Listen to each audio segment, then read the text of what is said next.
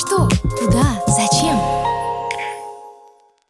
Привет, ты на канале Золотого Яблока. Это рубрика «Что, куда, зачем», в которой мы рассказываем полезные бьюти-лайфхаки. Меня зовут Клава Гольман, и сегодня мы поговорим о смене ухода за кожей к осени. Я расскажу, какие активы сейчас наиболее актуально вводить в уход, как подобрать более плотный увлажняющий крем, и, конечно, покажу хорошие средства для этого холодного времени года. Обязательно смотри это видео внимательно и до конца, потому что где-то появится промокод на дополнительную скидку на сайте приложения Золотого Яблока.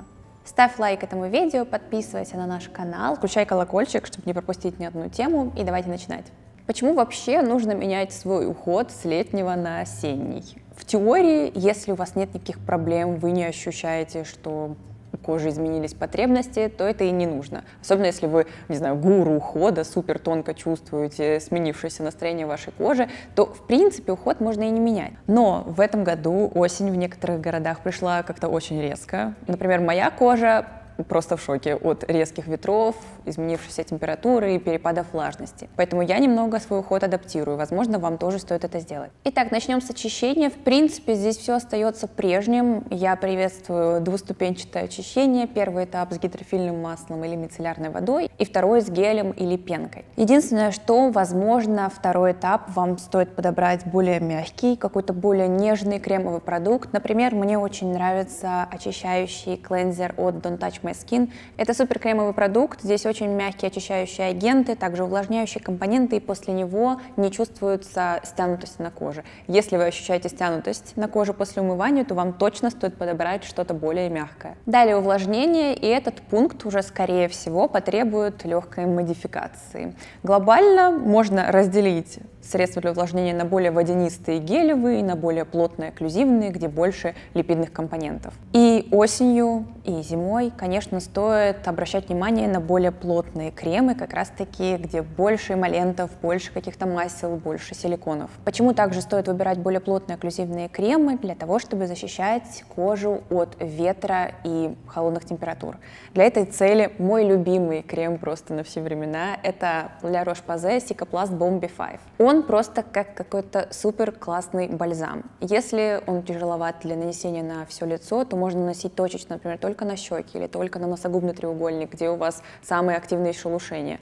Перед выходом на улицу, на мороз, на ветреную погоду он подходит даже для самой чувствительной кожи, для самой раздраженной и защищает от всех проблем, связанных с погодой. Ссылку на все продукты, о которых я сегодня рассказываю, можно найти в описании к видео. Не забывай про нашу быструю доставку, ее условия также в описании. Если осенью у вас случилось какое-то раздражение, нарушился кожный барьер, то стоит обратить внимание на кремы с церамидами. Это сорбет, крем с церамидами от Darling. Он супер красивый, выглядит как какой-то йогурт, но он густой, не водянистый, а скорее какой-то, я не знаю, он супер бархатный и успокаивающий кожу. Церамиды хорошо восстанавливают кожный барьер, борются с раздражениями и, в общем, супер классно увлажняют кожу. Плюс крем достаточно легкий. Если вы не любите тяжелые текстуры, то вам он отлично подойдет. Если случилось что-то очень страшное, и вам экстренно нужна помощь для кожи, кожа обветрилась, не знаю, с мороза очень раздраженная, или а, во время дождя перепадов влажности как-то, в общем, неприятно себя чувствует,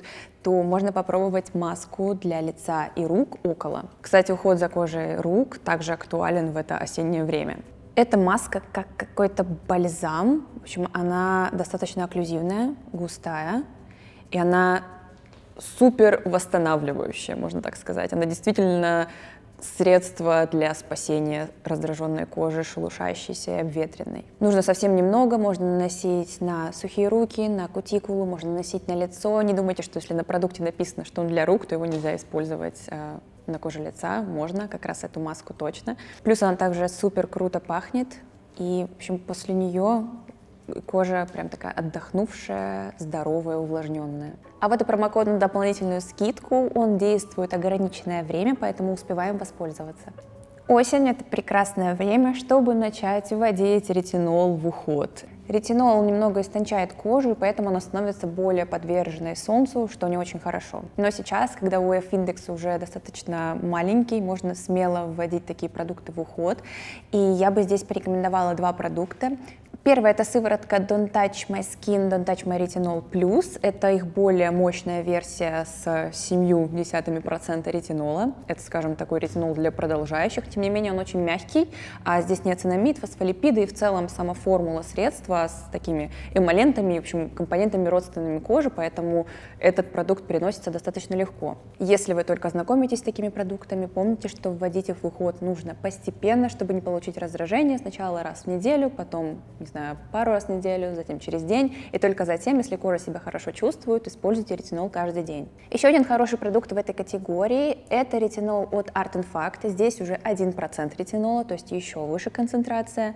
И также здесь масло ши и неоцинамид 4%. Масло ши также помогает сделать продукт более мягким, чтобы он лучше переносился кожей, чтобы не было раздражения, которое может быть от ретинола. Вообще, чем хороший ретинол, если вы вдруг не знаете, то он помогает избавиться от морщин, пигментации, следов от акне, то есть постакне. То есть вообще это, не знаю, это мой любимый активный компонент, он самый эффективный, самый изученный и, не знаю, подходит практически всем. Другие средства с ретинолом то можно заказать на сайте в приложении «Золотого яблока», например, вот эти. Также хочу пару слов сказать о защите кожи от солнца. Да, сейчас UF-индекс уже низкий, и вы вряд ли обгорите, особенно в условиях города. Но если вы используете активные ингредиенты, если для вас важно профилактировать старение кожи, то все-таки я бы советовала пользоваться санскрином каждый день. Тем более, что сейчас в холодное время года санскринами пользоваться приятней, как минимум мы не потеем, не нужно так часто их обновлять. В общем, возможно, это как раз то время, когда нужно вводить это в привычку. Из недавнего, что мне очень понравилось, я попробовала эмульсию от Art Fact. Здесь SPF 40, и здесь широкий фактор защиты и от UVB, и от UVA лучей, то есть э, здесь большое количество фильтров нового поколения, классных фильтров, которые не раздражают кожу вокруг глаз, и в целом этот санскрин супер комфортный. Если вы никак не можете подобрать для себя солнцезащитный крем, который бы не ощущался на коже, то я советую обратить внимание на него. Также здесь увлажняющие компоненты, в принципе, он может заменить обычный дневной крем. Еще этот крем заявляется как база под макияж. Он очень легко распределяется, хорошо ложится на лице, не забиваются в складки, в мелкие морщинки, и макияж на него тоже замечательно ложится. Надеюсь, теперь эта тема стала тебе более понятной, и ты с легкостью сможешь адаптировать свой уход к осенне-зимнему времени. Пиши внизу в комментариях, как у тебя изменился уход с приходом холодного времени года. Подписывайся на этот канал, ставь обязательно лайк этому видео и нажимай на колокольчик, чтобы не пропустить ни одну тему от нас. А на этом все, и увидимся в следующем видео. Пока! Что? Куда? Зачем?